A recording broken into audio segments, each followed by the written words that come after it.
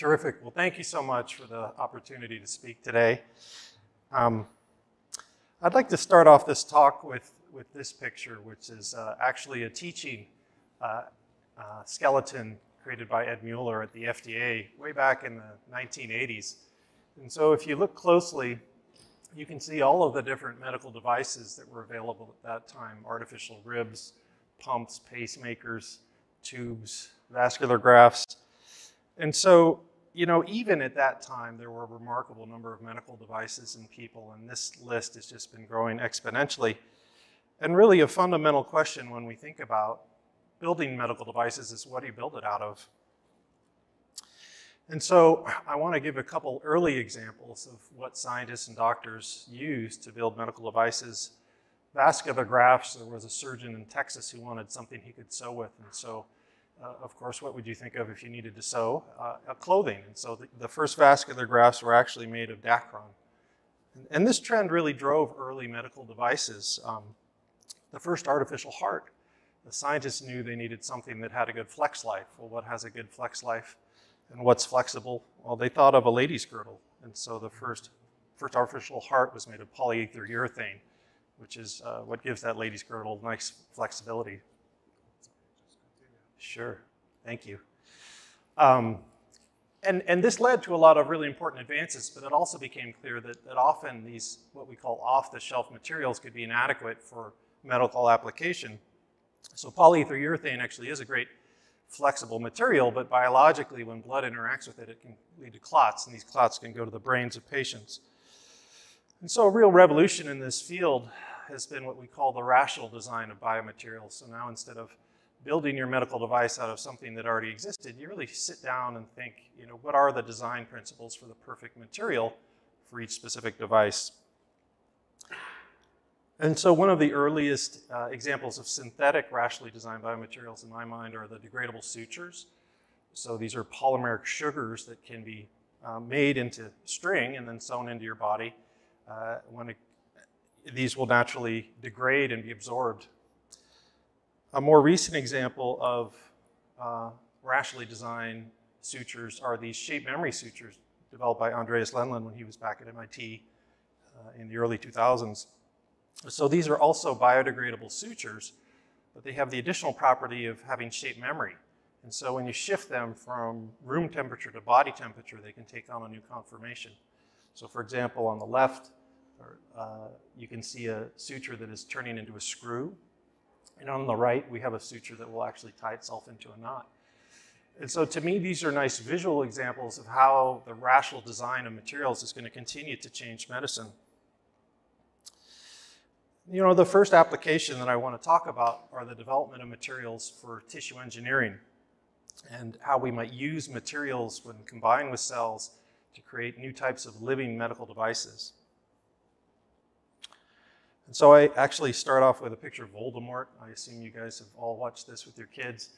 Um, this is instead of some of the horrific injuries, facial injuries that sometimes uh, we see in patients, but Voldemort does suffer from a lack of a nose. And the reality is, is if a surgeon can't reconstruct with existing tissue, sometimes patients will be stuck using what really are in some ways um, prosthetic masks or plastic devices. And so I think the, the, field of tissue engineering has been working on problems like this for a long time. And, and, one very famous example is this ear, which is actually made of biodegradable polymers and combined with living cells. In this case, they're chondrocytes from cartilage. And under the right conditions, these can be grown into mimetics of, of cartilage and actually placed into animals and even people.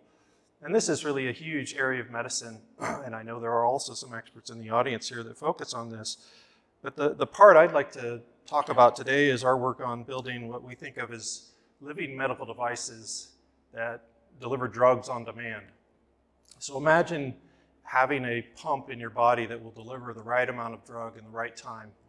But the difference here is this is not a pump that we use electricity to fire or we load up with exogenous drug we actually envision creating a living device where the cells are producing the drug on demand and they're actually responding to the environment to give you as much drug, the right amount of drug uh, that you need for a specific application. And so the real motivation for this work for us was our efforts to try to develop a therapy for diabetes. And so as I expect most of you know, diabetes is the loss of blood sugar control. And um, in type 1 patients, this is caused by autoimmune destruction of the insulin producing cells, the beta cells. And so the goal is really to create a replacement pancreas, or at least the parts of the pancreas that make insulin. And, and again, the goal is also not to make a customized pancreas for every sick person. There are millions of these patients. Can we make one device and mass produce it and have it work in everybody? That's the dream. And so I think as engineers, we first think of the design criteria. What are we going to do to build this medical device? Well, first and foremost, you know, we need to recognize that this is, uh, this is a living device. It isn't run by electricity, as I mentioned. Uh, what it needs is oxygen and food uh, because these are cells that are going to be secreting insulin. And in our bodies, I expect you all know that um, the key way we deliver nutrients and oxygen to our cells is through uh, the vascular beds. And you know, I think this is a, a, very smart way to think about designing a synthetic pancreas, but unfortunately it continues to be difficult to make very complex three-dimensional vascular beds that maintain uh, for long amounts of time and integrate with synthetic devices.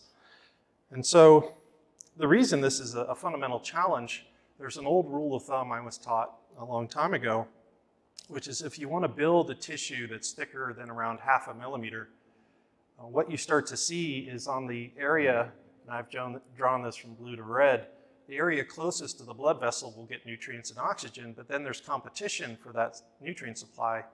And when you get past about half a millimeter, depending on the tissue, you start to get cell death and starvation. And so if you can't build a capillary bed and you need to supply food and nutrients to all of these cells, what do you do? Well, one idea is just to make it thin. You know, there's no reason why a new pancreas needs to look like the old one. And this has really sort of driven the design of these types of devices for decades. This is an example of perhaps the most common approach was, which is instead of make one, instead of making one pancreas to replace the parts of, of the pancreas that are dysfunctional, we'll make lots of mini pancreas and then place these in the patient. In this case, these are um, hydrogels, so these are polymers that contain a lot of water. And inside, in this case, it's pig cells. These cells are uh, pig islets that can measure in a way, react to the blood sugar in your body, and then secrete insulin in response. And so, as I mentioned, um, we need to keep this oxygenated. Uh, we also need to have the drug come out on, in response. Um, and Importantly, we need to block elements of the immune system from killing these cells. Because we want to make one device that works in everybody, we need to protect it from the immune system or otherwise we'll get tissue rejection. And so as engineers, we think about creating a semi-permeable barrier of sorts that can allow what we want to come in, but keep these elements the immune system away. And the reason we need to do this is, I think, uh, represented in this beautiful video by Eric Betzig at the NIH who got the Nobel Prize. In this case, what you're looking at is a uh, T cell attacking a cancer cell. And so, uh, as you can imagine, this uh, T cell is in our bodies actively looking for invaders, whether they're foreign cells, objects, uh, or cancer cells. In this case, we're, we're thinking about delivering insulin producing cells. But we need to physically separate these T cells or otherwise mask the transplanted cells from the immune system. And the most common material that, that we and others have used, I think if you look back over the last several decades um, on the materials that people have used, the most common is actually something called alginate. Um, it's not actually from this type of seaweed, but if you've ever gone to a Japanese restaurant and had a seaweed salad, you'll notice that this, al this, uh, this uh, very water-rich sort of elastic property. And so this polymer alginate can be isolated from these types of seaweeds. And through controlled droplet generation and the incorporation of cells, you can actually wrap cells uh, with this polymer. And this polymer now creates this semi-permeable membrane where the nutrients can come in and the insulin can come out. And this is not, this is not new, new work. In fact, there's a, a, a seminal paper um, from now over 40 years ago. Was published in Science by Lim and Sun. And what they did is they took islets encapsulated in this alginate and they placed it into a diabetic rodent. And here's actually a figure from that paper long ago. And just to orient those of you that aren't biologists, on the y-axis you're looking at the blood sugar, and then on the x-axis you're looking at time after implantation. And so what they found was that you could transplant either encapsulated islets in these little spheres or just free islets. And soon after transplantation, the immune system would attack and kill them. That's what's shown in the uh, dashed line. However, um, what you can see in the solid line is now you actually get a maintenance of function. Lasts a couple weeks, but still it was a really important seminal moment in the field that you could take islets from one animal, wrap them in a polymer, put them into a diabetic animal, and actually get control of blood sugar. So when we take these approaches and use more advanced approaches as we do today, you can actually take the pancreas of a pig, isolate these insulin-producing cells, put them into a droplet generator that makes these little microspheres of gel. You can then place these into a diabetic rodent, which is a completely different species. And again, when we look at the blood sugar of these animals, now we can get control of blood sugar for as long as we do the experiment. So this lasted over 300 days in our hands. And so this is an exciting proof of principle that you can get long-term control of diabetes from a simple small sphere. But there are some things I didn't show you. There's things we learned and things, things we still haven't solved. So first of all, what this teaches us is that we can take a pancreas, isolate the cells, and encapsulate them. You can actually take islet cells from a completely different animal and cure diabetes in a rodent. But there was a catch. So in this experiment, the rodents didn't have an immune system. And so if you do this exact same experiment in a normal mouse with a strong immune system, uh, what ends up happening is just like back in 1980, the devices fail. So why is that? Well, our immune systems are smart, and if our immune cells can't um, attack and clear something, often they'll wall it off in a layer of scar tissue, and this is a process called fibrosis. And so in the case of this artificial pancreas, what happens is you get a layer of collagenous tissue or scar tissue that wraps around the cells and now starves the cells to death. And so the devices no longer work on the order of about a few weeks. And in fact, early studies in humans with these types of capsules showed exactly this. So you can look in the abdominal cavity where these devices were placed, and if you look at the wall of the abdomen, maybe hard to see in the back of the room, you can see these little lumps of material that have embedded in the wall, and they're covered in scar tissue. And some of these were taken out, and when you look at them, you see layers of scar tissue and then dead cells inside. So, so what do we do? Well, can we find a material that's actually going to evade the immune system? This is a picture of one immune cell called a macrophage interacting uh, with bacteria, but also interacting with the surface uh, that it can touch. You can see it sort of reaching out to grab it.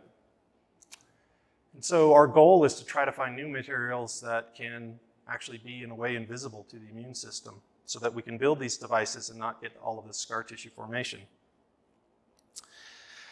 And so this is a more technical slide of, of how we did this. It's also a slide that represents probably 15 people over five or six years. So I sometimes feel bad showing this when my graduate students did all of this work, but it's a single slide. Um, basically what we did is combinatorial chemistry to make libraries of materials. We use automation or robots to assist in this process. We isolate these polymers and then do a series of tests to see if they could still form capsules and gels. We then place them in animals to see how they interact with the immune system, ultimately taking materials that are looking promising and seeing if they can actually cure diabetes first in rodents and then if they can keep cells alive in primates. And so with these new materials now, we're able to do an experiment like this where we can actually take the beta cells out of a primate, encapsulate these into this new material, place them into a second primate that would normally reject these cells, and see that at least for four months, the cells are alive and happy. And so this was an exciting first step. We now have a device, but where do the cells come from? So historically, when patients have been treated for diabetes with cells, those cells come from uh, cadavers. But you know, for many years, people were taking pig insulin, and so there was this belief that perhaps we could just actually take uh, take the, the, the, pancreas of pigs, isolate beta cells, and treat patients. But fortunately, right around the time we developed this device, um, there had been recent important progress developing sugar uh, insulin producing cells from stem cells. And what's exciting here is if you have an embryonic stem cell, you can actually reproduce it indefinitely. So imagine instead of sort of waiting for people to die so that you can cure others, perhaps an endless amount of cells can be grown in a vat.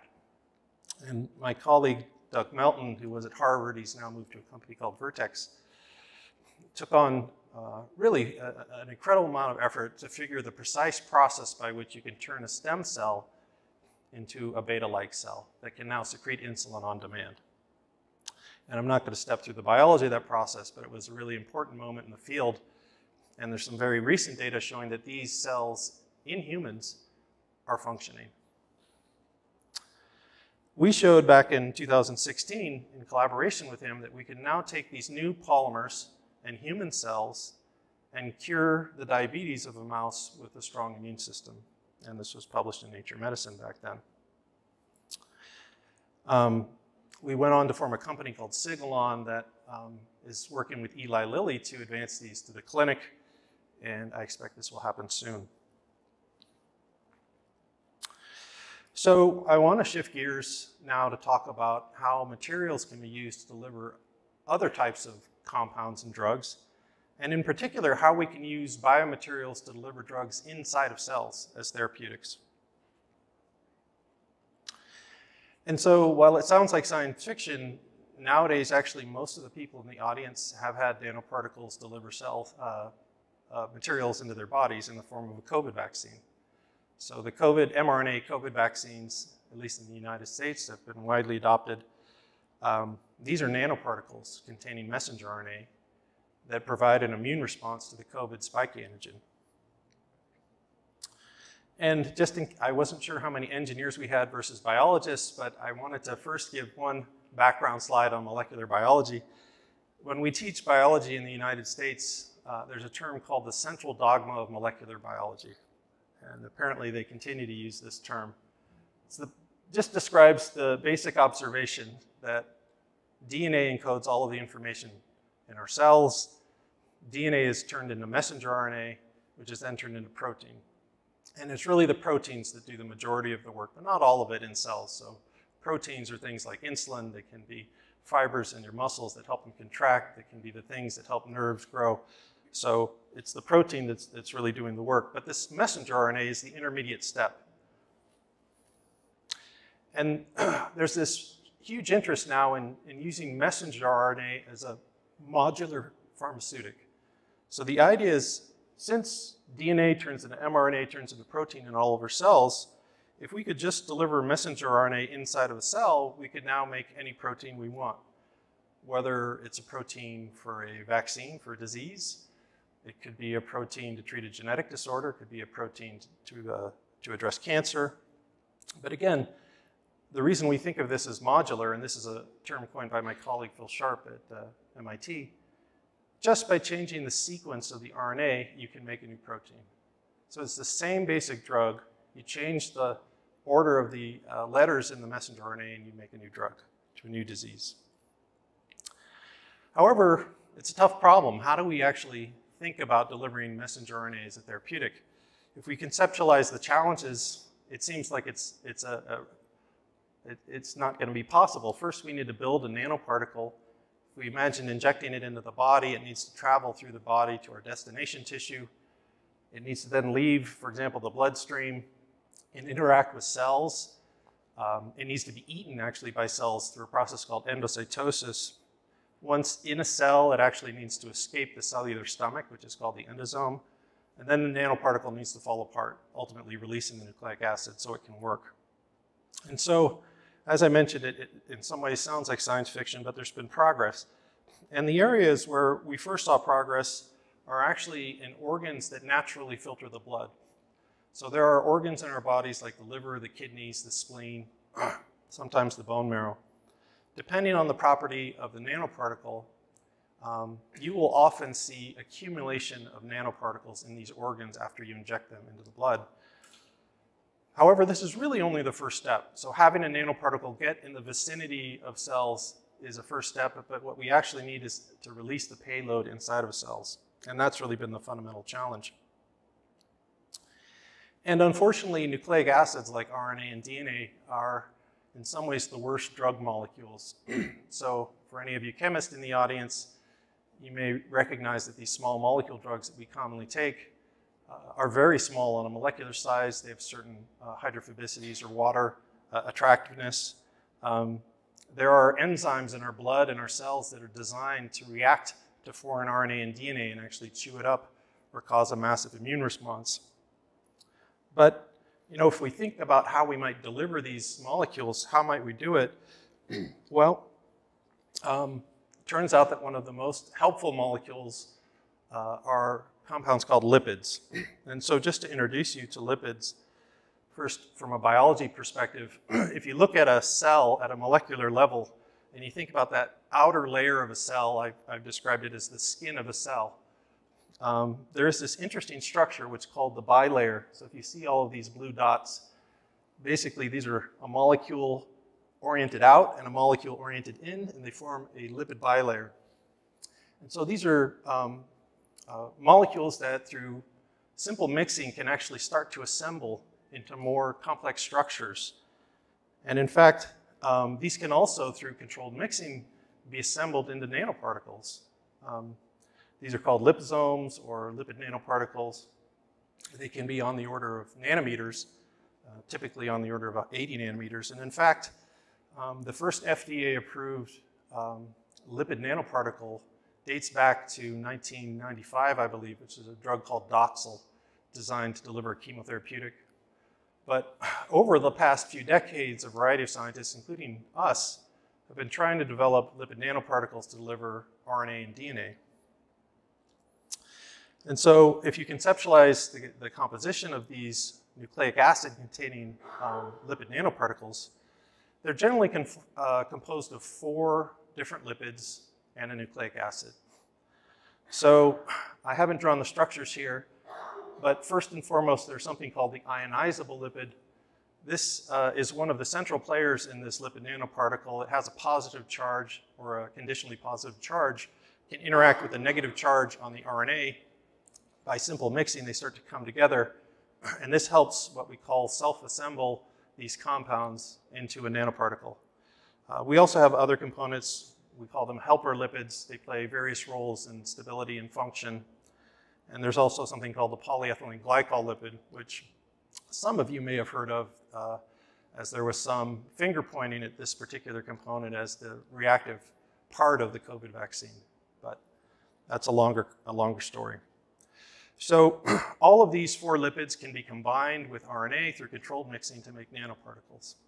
And you know, when we first started this work, we and others recognized that it was really this ionizable lipid that was one of the key players in making nanoparticles that can deliver to people. And so I apologize to anyone who's not a chemist in the audience, but I thought I had to show at least one or two chemistry slides. So these are chemical structures of various lipids uh, delivery lipids that were around when I started this work.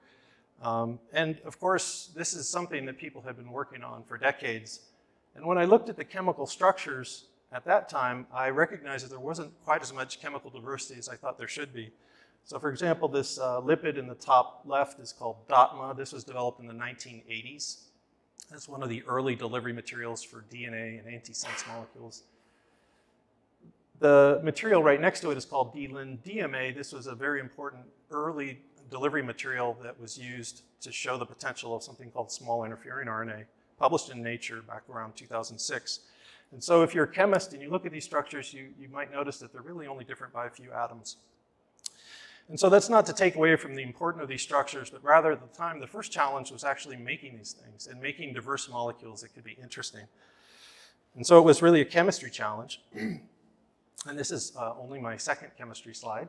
I won't show more than this, but really the challenge is how do you make thousands of these things and how do you do it quickly? So we don't want to have to customize our synthetic reactions for, for all of these compounds. Can we come up with strategies to allow us to make relevant molecules in one step and not require a lot of painful chemistry steps like purification? This is called a Michael type addition. Um, for the chemists, again, you can notice certain parallels and structures to this uh, compound in the, in the top right with the blue. Um, so this is just one example of the, and I really just wanted to describe the approach. We've since made thousands of these things and shown their potential for the delivery of nucleic acids. In fact, we have over eight that are in clinical trials right now as different vaccine delivery systems. But what I want to switch to is that, you know, I see this as the tip of the iceberg. I believe these nanoparticles are going to be useful to deliver nucleic acids for all types, many types of diseases, and to many different tissues. So they're not just for vaccines. Here's just an example of an experiment where we took two different nanoparticles. And by changing the chemistry, in this experiment, we, um, we made two nanoparticles with different chemistry, but they have the same messenger RNA. In this case, it encodes for uh, luciferase. Luciferase is a protein. Uh, it's what allows fireflies to give off light. And so we use this often as a reporter construct. And if we can successfully deliver nanoparticles, we actually can measure how much light comes out of the tissue. So if you deliver this to an animal and you start to see a glowing liver or a glowing lung, that means your nanoparticles are working. And so in this experiment, we took our two different nanoparticles and then we isolate the organs and see whether or not they glow. And what you can see on your left is um, the first nanoparticle will deliver this luciferase to the lungs of the animals, whereas the second nanoparticle doesn't deliver at all. In contrast, when we look at the liver, the first nanoparticle does not deliver to the liver, but the second nanoparticle does. And so the point is just that by changing the chemistry, it's possible to have nanoparticles travel to other parts of the body. And there's a lot of work right now looking to adapt these types of delivery systems to a range of different diseases to various organs. Another example of how you might use these types of nanoparticles is actually through inhalation. So this is in some ways a, a, related experiment where we made nanoparticles that when you breathe them in, they will deliver messenger RNA. And so in this case, we use a process called nebulization where we have a solution of nanoparticles and then it makes little water droplets.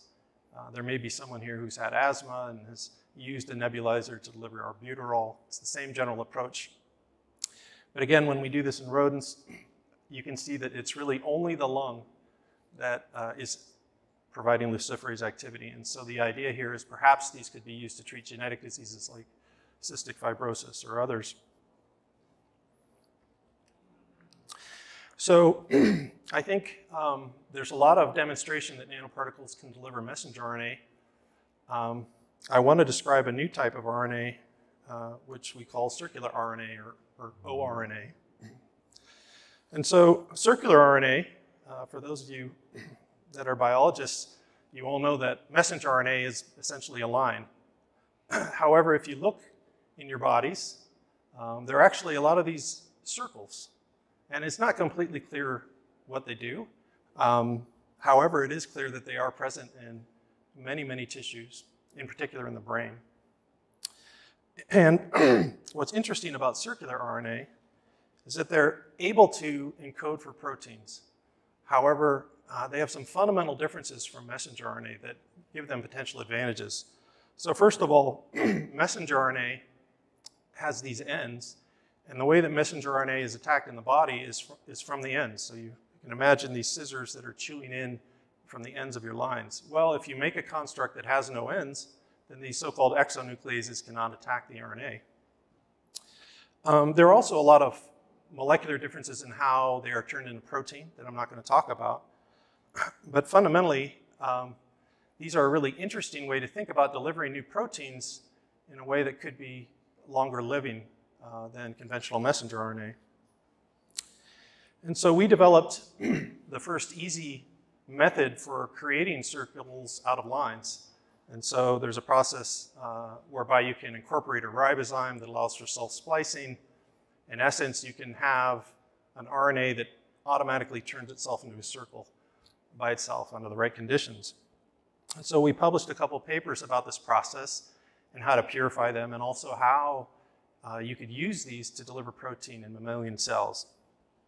We went on to start a company called Orna, and at Orna, what we've shown is that these circles are actually very potent ways to deliver proteins to T cells. So these immune cells in our bodies. And so uh, this is an example looking at a reporter construct and delivery to T cells in a dish, human T cells. And what we're looking at is a comparison of the amount of protein produced over time for a conventional state-of-the-art messenger RNA or different circles. And so these circles are shown in purple. You can imagine that the total amount of protein is really that area under the curve. And so with these circles and T cells, we're getting orders of magnitude more protein over time. And that gives us hope that we can deliver important proteins to T cells. So what might we want to do? Well, I thought I would show this video again. So this is an example of a T cell attacking a cancer cell. And so what, the first thing that Orna is focused on right now is actually reprogramming T cells in the body to attack different cancers. And so there are really exciting data showing that in humans, you can take T cells out of a patient, change them genetically, and then put them back into a patient. But it's a really tedious process, involves a lot of potential side effects. However, it is an actual powerful way to treat cancer. Here we're hopeful that we can actually just inject a nanoparticle with a circle and make these cancer attacking T cells in the body. And this is something that I'm optimistic Orna is going to be doing in the next year or two. Um, uh, here's an example uh, of some preclinical mouse data where we have a humanized immune system and we have a human uh, B cell leukemia, and then we inject um, these circular RNA containing nanoparticles, and it's only with the correct constructs, which is the bottom flat line, so this is a CD19 targeted nanoparticle, where the tumors are completely destroyed. Any of these other constructs, we see growth of the tumors. And so, as I mentioned, Orna now has over 100 people, and we're excited by the potential of this technology to treat cancer. But actually, uh, we see lots of opportunities for using these circles. Orna has announced a collaboration with Merck to use them, for example, in vaccines and some other areas. In fact, this was the biggest preclinical deal in biotech history, I believe. so I'm going to end um, finally by talking about the delivery using materials of genome editors. And actually, this question that I've posed here, can we make drugs that change your DNA while you're still using it? This is actually what brought me to MIT back in 1999. I was a biologist by training and I had worked on DNA repair. And I had this dream of using DNA repair pathways to treat disease. And you know, it's, it's rather amazing to me now that we're actually starting to see this come to fruition. The dream here is that can you inject a drug into a patient, let's say you have a liver disease, which is why I've drawn this liver in green.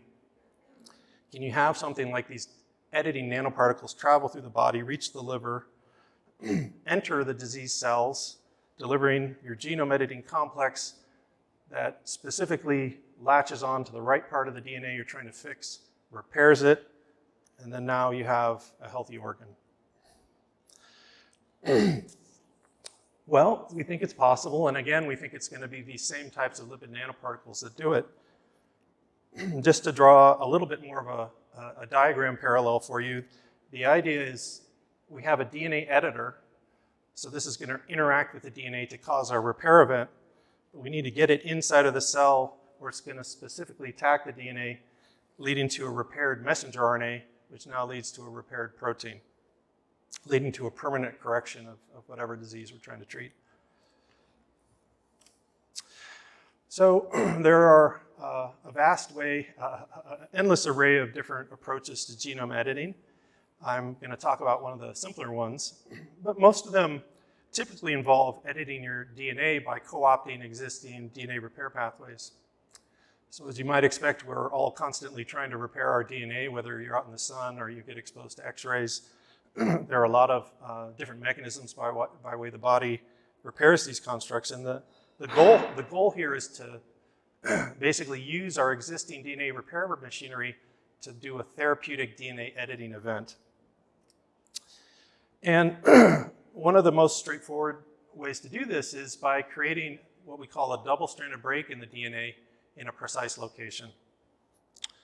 And so if you just focused in on the left, this is called, actually I'm going to go into this in more, more, more detail, but in essence, uh, what I want you to envision is what we really need is a pair of scissors that's going to specifically cut the DNA where we want it.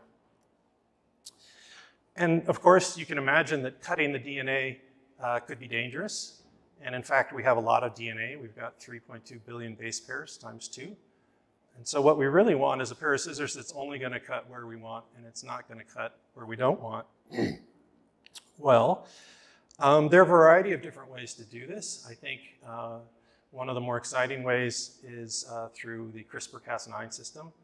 So some of you may know the Nobel Prize in 2020 was given to Emmanuel uh, Charpentier and Jennifer Doudna for the use of CRISPR for genome editing. And, you know, the CRISPR-Cas9 story is an interesting one. This is really a, a, a bacterial enzyme that have been designed to help deal with viral attack. but um, the way we can use it actually is a programmable pair of double-strand DNA scissors. So imagine a protein that you can program where to cut. And the way you program it is actually with what we call the guide RNA. The guide RNA is something that complexes this molecule Cas9 and tells it where to cut. So if we program our guide RNA correctly, we will cut where we want. So if we want to build this genome editing nanoparticle, what do we have to include? Well, um, we need to deliver the Cas9 protein. And so uh, what we decided was to use messenger RNA to deliver Cas9. But we weren't sure how to deliver the guide RNA. And that was really the open question.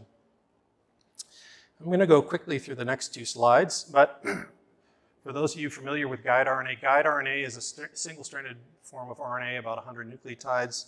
Um, it has a complex secondary structure and how it interacts with Cas9. and you know, we came at it more from a delivery perspective and a chemistry perspective. There was knowledge that changing the chemistry of RNA can make it work better uh, from a delivery perspective. But the problem is that if you have 100 different places to change it, and say 20 different ways you can change it at each of those spaces, you now have an enormous number of possible modifications.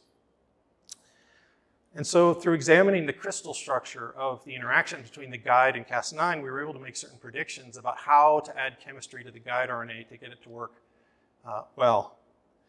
And here's an example of how we used it. We were interested in targeting familial hypercholesterolemia. So can you create a nanoparticle that permanently lowers cholesterol? And the goal is not to do this in people like myself that maybe don't eat so good. Um, there are patients who have familial hypercholesterolemia that can lead to dramatic reduction in lifespan, that can lead to cholesterol accumulation, as shown here in the hands. There's a gene called PCSK9. it's involved in cholesterol metabolism. And you can take antibodies today that will lower your cholesterol by 50, 60%. But the problem is you need to take them for the rest of your life. So can we have a nanoparticle change the DNA, block this PCSK9, and thereby lower cholesterol permanently? and so using these chemically modified guide RNAs, a messenger RNA encoding Cas9, and a lipid nanoparticle, we were able to show that in mice, we can actually get specific editing in the liver of this exact site. Um, in fact, we could see that over 80% of the copies in the liver were knocked out. Uh, PCSK9, which can be measured in the blood, was no longer detectable in the blood. Um, and cholesterol was lowered in these animals. and so this was an early demonstration, at least to our knowledge, the first demonstration using a nanoparticle to do CRISPR genome editing uh, to address a disease. In fact, there's a company called Verve Therapeutics using a slightly different approach to specifically knock out PCSK9 in humans. They've now dosed their first patients. But another important disease is something called transthyretin-mediated amyloidosis. It has this long, painful name, but I think what you need to understand about TTR is that it's caused by misfolded proteins in the liver, and this can lead to amyloids similar to what you get in Alzheimer's. But these amyloids then leave the liver and affect various parts of the body, including nerves, in this patient, the eyes.